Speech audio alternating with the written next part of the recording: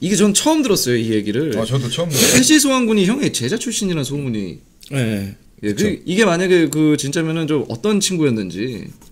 어 처음부터 잘했던 친구예요. 처음부터 되게 멋있게 잘했던 친구고 그리고 뭐 제자라는 것도 웃긴 게 제 제자도 아니고 제가 볼 때는 자기가 잘하니까 응. 배우러 왔는데 이미 잘하는 상태였어요. 어. 뭘 알려주겠어요 제가 무슨 말인지 알죠? 그냥 알죠, 알죠. 그냥 그냥 제 의견 정도. 음, 그럼 아티스트가 어떤 아티스트의 조언을 다 들을 필요는 없잖아요. 네 스타일이 있는 거고 내 스타일이 있는 거고.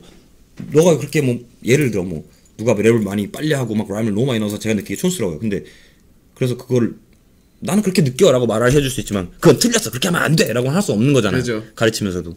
그러니까 뭐 음, 그냥 내가 생각할 땐 이게 좀 더 나을 것 같은데 너는 근데 약간 지금도 하는 것도 멋있게 잘 하고 있어서 그냥 그냥 들으라고 그냥 내 의견이야 정도만 하면서 가르치면서 약간 미안해서 나중에는 별 가르치고 싶지 않은 이미 이미 만났을 때부터 거의 완성이 네. 돼 있는 예 친구였다는. 그래서 그냥 놀고 이 친구 어머니도 뵀어요 저는 어. 어머니까지 왔었어요 저 음, 막 하긴. 인사하러 그러니까 내 아들이 좀 걱정돼서 좀 잘 부탁드리면 이 친구가 진짜 음악을 너무 하고 싶어 하니까 음. 이게 그 어머니가 뵌 거는 슈퍼비였나?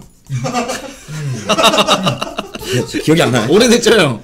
그지 슈퍼비 아니면 아무튼 해시선 둘둘 다 저한테 배웠는데 아무튼 둘 중 어느 분은 뭐 부모님도 배고 막 그럴 정도로 저는 좀 되게 열심히 했던 기억이 있어요. 그래서 막 걱정하지 말라 그랬어요.